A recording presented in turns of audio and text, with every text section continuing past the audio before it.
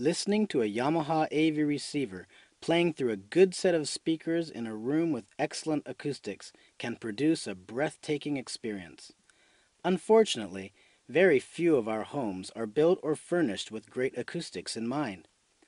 YPAO uses a small microphone and some very sophisticated digital processing to optimize the acoustics for your listening room.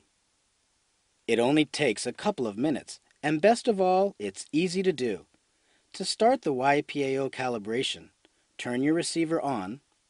If you are using a subwoofer, turn it on, set its volume control to half, and if it has a crossover control, set that to max.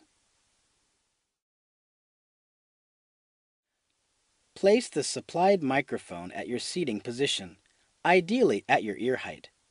If you have access to a camera tripod, Use it for more accurate results. Connect the microphone to the YPAO jack on the front of your receiver and press Enter to start.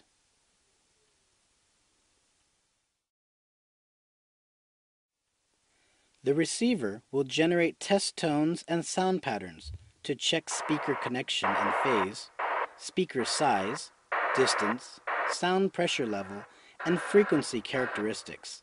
Then, make adjustments for the room's acoustics.